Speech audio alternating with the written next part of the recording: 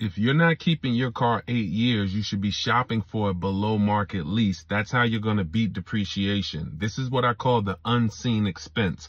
If you buy a car today for $40,000, come back tomorrow, what is it worth? Come back a year later, what is it worth? Let's say I park a $40,000 car outside your house. I say it's yours. You don't drive it. Come back a year later. Is it still worth 40? No. That's depreciation. That's the unseen expense. So a car that's worth 40 that could be a year later worth 35, we need to factor these things in when we're buying a depreciating asset. There's only two ways to avoid depreciation.